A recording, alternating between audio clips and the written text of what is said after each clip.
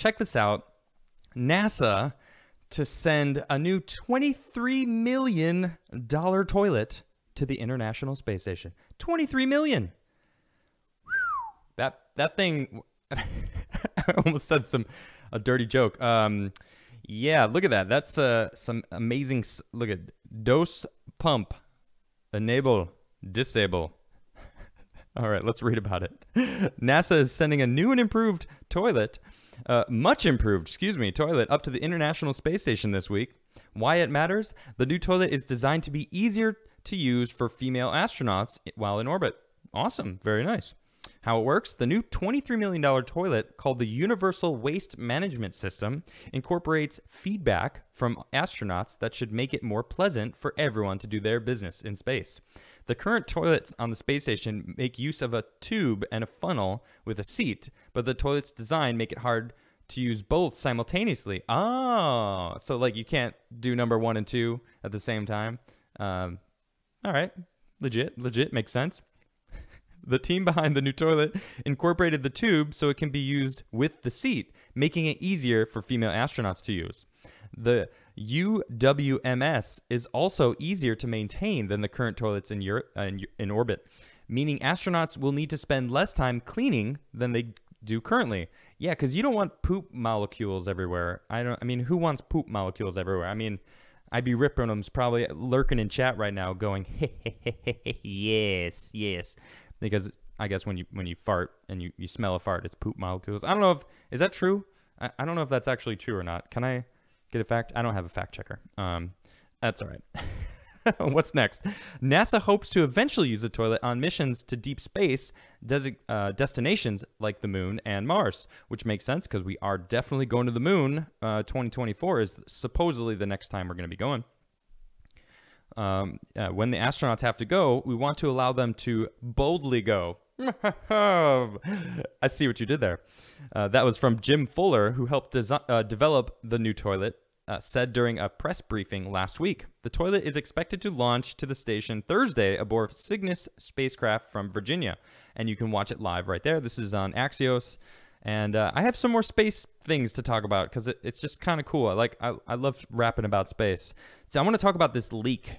All right, so there was a leak actually. Uh, I don't know if this was when when does when does uh, when did this happen? I think it was a few weeks ago. So they, they there was a leak that they had to all isolate. I think it was in in the Soyuz, uh, the Russian uh, capsule, and they had to close it off while they tried to do run different tests to find out where the leak happened. And uh, let's read about it. Uh, uh, Monday night, the Expedition 63 crew was awakened by flight controllers to continue troubleshooting a small leak on the International Space Station that appeared to grow in size. Ground analysis of the modules test tested overnight have isolated the leak location in the main work area of the Ves- uh, Zvezda service module. I don't know if I said that right, but that's cool. Additional work is underway to precisely locate the source of the leak. The leak, which has been investigated for several weeks, poses no immediate danger to the crew at the current leak rate and only a slight deviation to the crew's uh, schedule. NASA astronaut and station commander Chris Cassidy and Rosco- Roscosmos Roscosmos cosmonaut. I never heard that Roscosmos. What does that mean? I'm going to look into that. Anatoly Ivan Nishin and Ivan Wagner were instructed to move into the Russian segment to collect data at various locations in the Russian modules. The size of the leak identified overnight has been uh, attributed to a temporary temperature change aboard the station, with the overall rate of leak remained unchanged, remaining unchanged. Previous leak checks were con- uh, conducted in the U.S., European, and Japanese modules in the U.S. segment of the station. Check this out. I actually have a picture. This is one of the holes. It might be the hole. I don't know, but this was posted after all this went down. Look at that. Actually, it's unfortunate because you don't really get a good um, judge of how big the hole is. But they say it says here that it was made by a meteorite the size of a grain of sand. And actually, when I was talking to the space experts last Saturday, we actually talked about this about how if you throw a, a bag of sand into the orbit of, of Earth, it would decimate many, many of the, I think there's like 3,500 satellites at the moment, or 4,000 satellites total. And it's pretty crazy. Like one grain of sand can I'm knock out a satellite. It could hit, you know, a blow up battery. I don't know what kind of batteries they've got, but it can imagine you can see that it would just rip open a big hole in a potentially, especially when someone's living on the ISS. So this is actually on the ISS, and it continues. Um, the astronauts on the ISS are hunting for a source of another mysterious air leak. This is actually from today. So they're actually looking for another leak. So these these leaks are happening which and I can only assume it's from these these tiny little particles because they are they're moving like 30,000 miles an hour, 25,000 miles an hour, somewhere somewhere in that range, whipping around the Earth really quickly in their own UFO. You know, well, it's identified, so IFO, uh, ISS, and uh, let's read about this.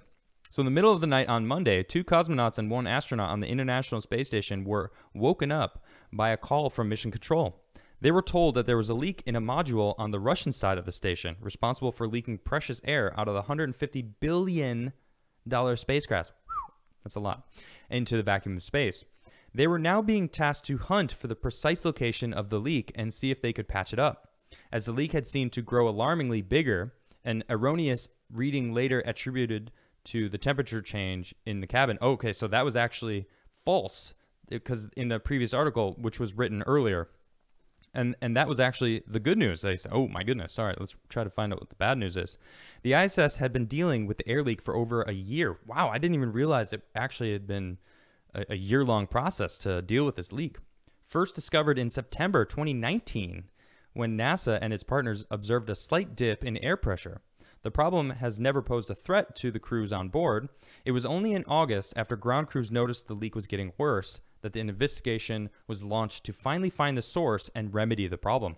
Since then, American astronaut Chris Cassidy and Russian cosmonauts Anatoly uh, uh, Ivanshin, Ivanishin, there it is, and Ivan Wagner have spent multiple weekends hunkered into a single module while they close the rest of the station's hatches and make measurements of the air pressure. So this is what the the other article was talking about, and that led up to the Monday night search party here. The ISS always loses a tiny bit of air, and that simply requires replacing the nitrogen and oxygen tanks during regularly uh, regular resupply missions. But the fact that the leak was getting worse would require the tanks to be replaced sooner than expected.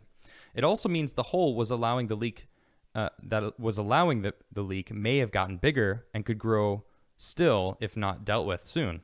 These leaks are predictable. Sergei uh, uh, the executive director of Russia's crewed space program, in a televised comment, What's happening now is more than the standard leakage, and naturally, if it lasts a long time, it will require supplies of extra air to the station. So they're going to have to get some air out there. So this is a tweet from Chris Cassidy talking about it. Strangely, the data did not point us to any particular location.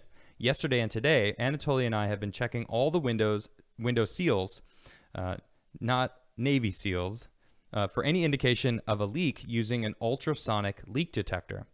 So far, no luck finding the source, but it looks like we will try again with the module isolation this weekend. No harm or risk to us as the crew, but it is important to find the leak. We are not wasting valuable air. Yeah, exactly. So that is um, that's that's it for um, that that segment. I mean, it, it goes on and we, they keep talking about it, but that's pretty much the information that uh, we got of there. I just I I, I want to show this incredible photograph of the future. Check this out. This is from Eric X Space making life multi-planetary uh, planetary this look at this this is starship that is I, I, as far as i'm concerned the first starship i mean we had the space shuttle but the, the space shuttle couldn't get off the Earth by itself. It couldn't launch and land. This is the first starship, like real starship, something that can go from the, you know, land on Earth, fly into space, and come back down and land. This is incredible. We seriously are at the the beginning of the future. We are witnessing this shift to going into space. The conversations that I had uh, with these space experts that I had on my show the past couple weeks has been incredible. I I feel like I, I got a nice window into the economics of space travel. Um, and if you want to check out those, they're on my channel. You can check them out. And incredible conversations, but it's happening. We're actually there. We are here witnessing the future of space, and it is incredible. So, this here is the Starship by Elon Musk, and I am so excited about it. I can't I can't express how excited I am. It's one day maybe I'll, I'll get to go to space, and I would love that. If you if you have an in, let me know because I would love to go.